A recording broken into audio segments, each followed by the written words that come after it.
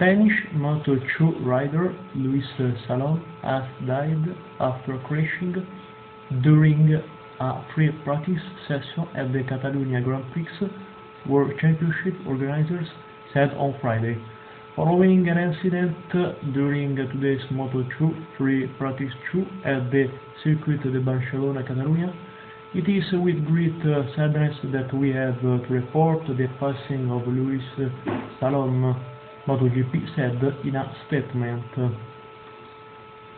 Salom, 24 years old, was uh, taken to a hospital after the crash where he underwent surgery.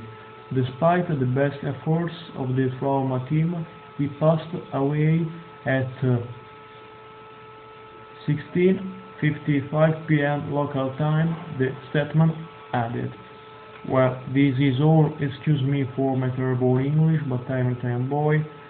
This uh, man uh, was uh, a good man, a pilot, uh, a great pilot that uh, he played in Moto 2. Well, this is all. Salom, rest in peace.